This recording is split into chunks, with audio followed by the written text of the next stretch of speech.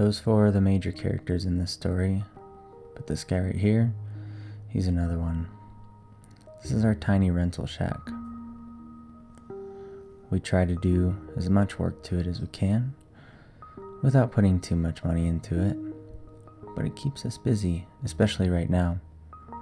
And right now, our lives really haven't changed that much, other than the fact that I don't physically go into school. I still keep busy enough with all the online schoolwork. And my wife, she's actually an x ray tech, so she still goes into work.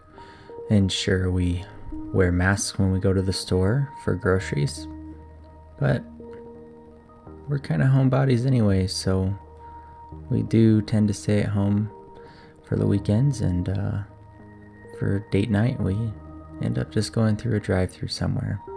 And maybe this time last year we would have been thinking about planning a trip somewhere, but with a baby on the way, we've got plenty of other things to worry about.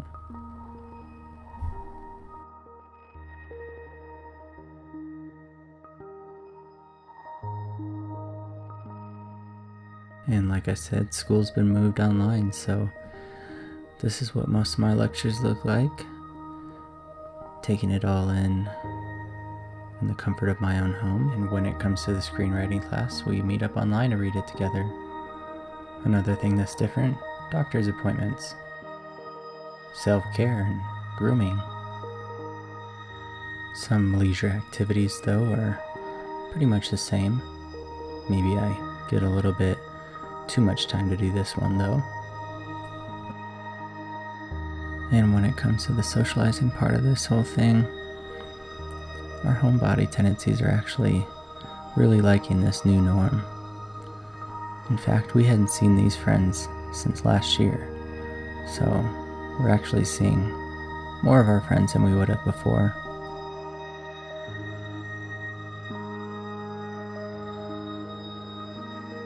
So while we do want everything to go back to normal, we are enjoying this time to catch up on projects and to keep ourselves busy and at the same time slow down and realize what's most important in life.